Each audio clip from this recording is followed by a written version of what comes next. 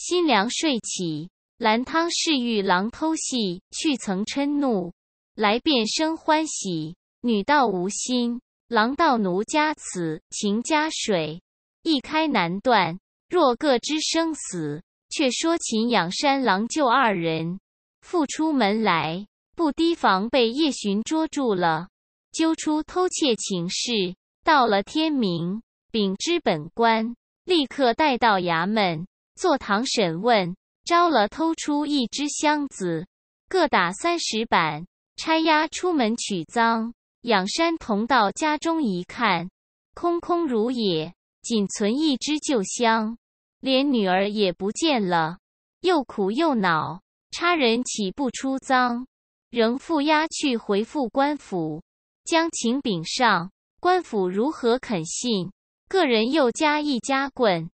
仰山哀哀禀道：“昨夜扛箱回家的时节，箱子是锁住的，因想附到他家，再偷些别项东西，不及开看，就同走出门，遂被拿获。家中只有一个女儿，名唤飞瑶，年已十七岁。如今押回取赃，箱子开着，女儿不知去向。”求老爷把小的女儿缉拿到案，审问的时就有赃了。此时家死小的们也招不出什么赃来。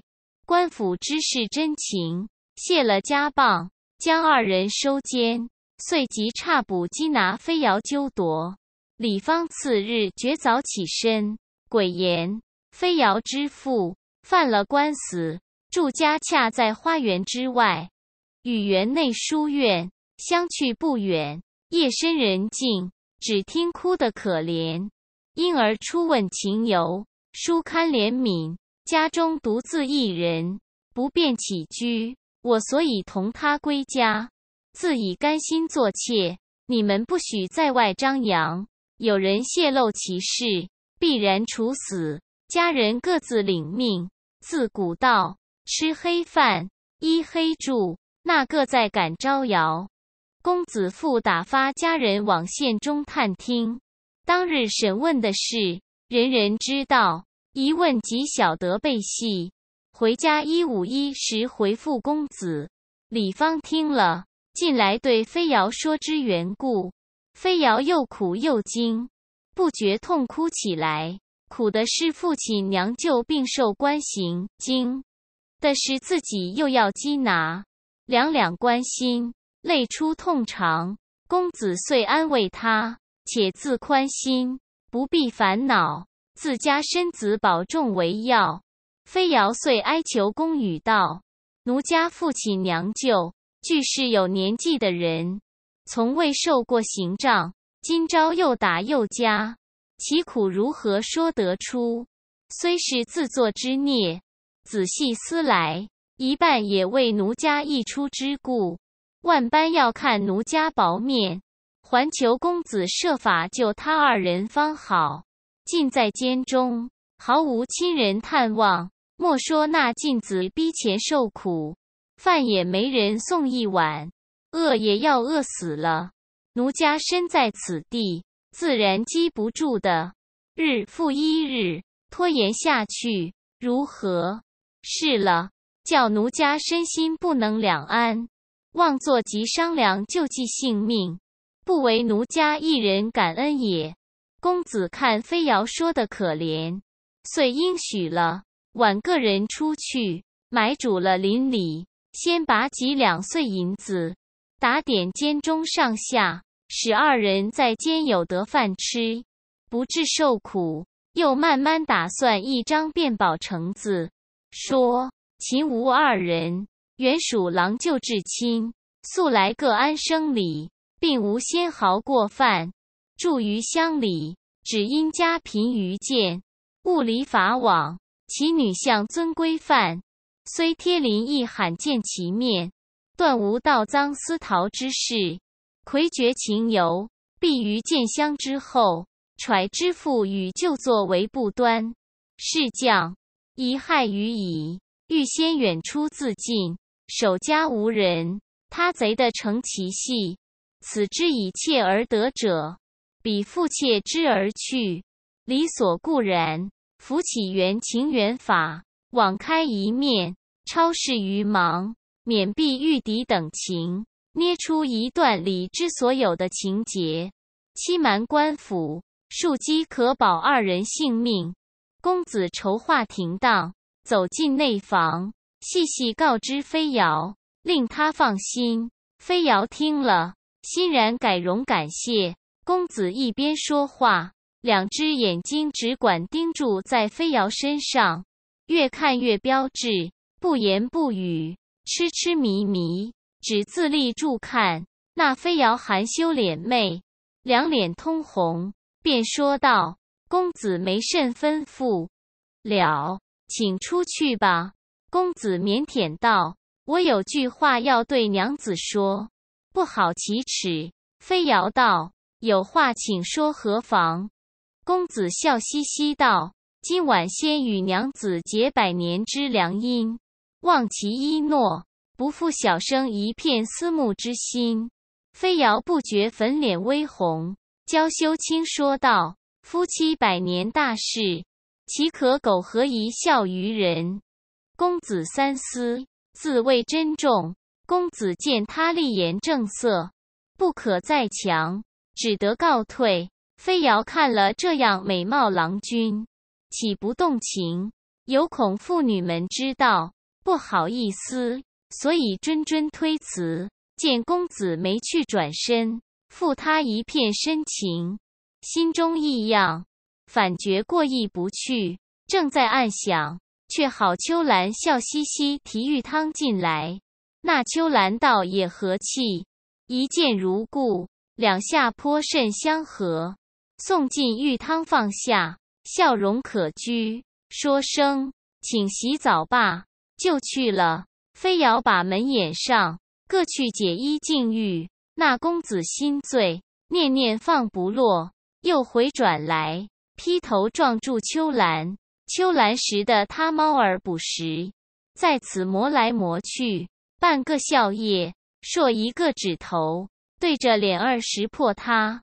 公子见左右无人，勾住粉颈，亲一个嘴道：“好姐姐，你那里来？我时刻想念你。”秋兰道：“谁信你这些虚情？可可的想我在心上。我自送玉汤与你心爱人。”公子道：“生受你了。”就搂进空房里。公子主上门，秋兰已与公子间隔多时。见公子上来寻他，也自要的，遂退出一只裤子脚，仰在春凳上，两个弄僵起来。公子替他掀，秋兰一头问道：“我知你毛病，在此磨来磨去，要尝尝新滋味，可得到口不曾？”公子摇摇头，只是替他先。秋兰道：“这样口边食。”没用去吃，专会欺侮的我。公子弄得高兴，屈他一只脚起来，奢棱没脑，一味乱倒，抽得秋兰爽快意长。偏生厨下有事，心里急沉沉，便推推公子道：“我没工夫，夜里来救你。你弄新人去，趁他洗澡未罢，又不消穿衣服。”好不省力，你先门进去，怕他飞到天上去了。好意教导你，快些去。公子听说，拔出洋物，开门一笑就走。秋兰忙系裙裤，一溜烟也去了。公子走到房前，门是掩的，先在窗格里一张。那飞瑶脱得精光，正在洗浴。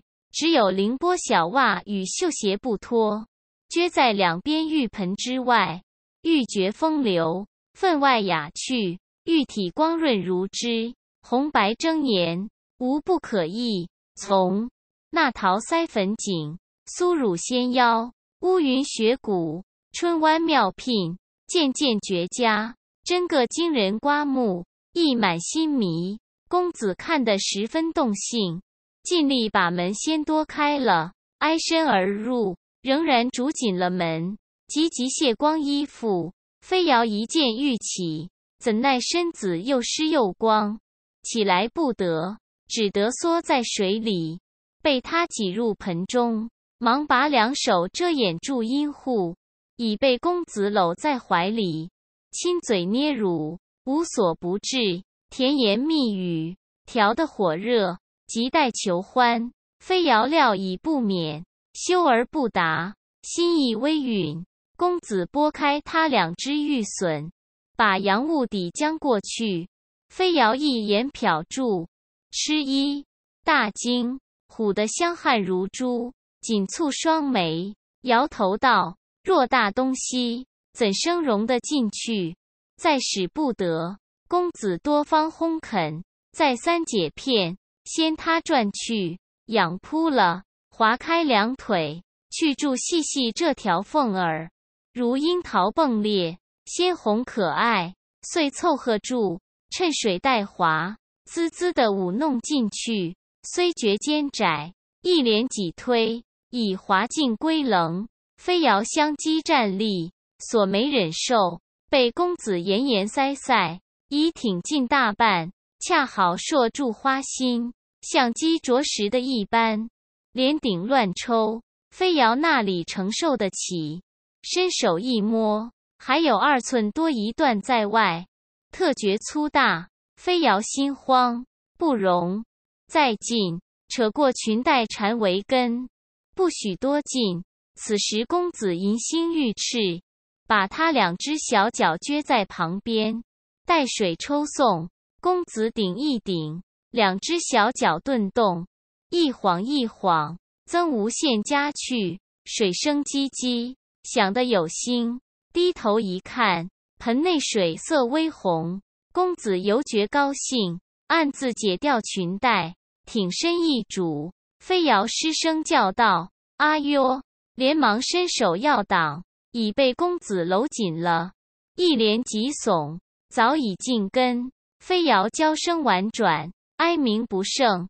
公子甚是珍惜，遂不敢尽兴。徐徐将飞瑶扶起，二人各自抹身穿衣，语语一番，已成恩爱。就在房中歇了，以后夜夜欢娱。秋兰一成一窝，说不尽许多风流之处。其父与旧果如李方画册，脱坯墨剪竹径，仰山同舅子收拾家伙，搬到别处去了。公子回复飞瑶。未知后事如何，下回分解。